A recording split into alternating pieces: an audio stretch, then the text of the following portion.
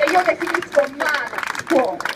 In realtà i fondi per fare una buona scuola voi li avete tolti, non li avete messi. Se la matematica non è un'opinione, i colleghi di matematica mi possono correggere, avete investito 4 alla Gelmini a pochi occhi, quindi siamo ancora a meno 4.